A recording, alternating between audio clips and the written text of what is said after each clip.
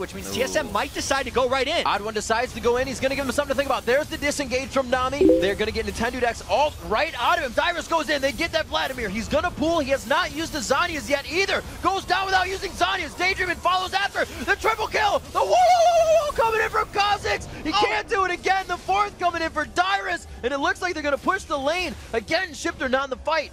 Total four for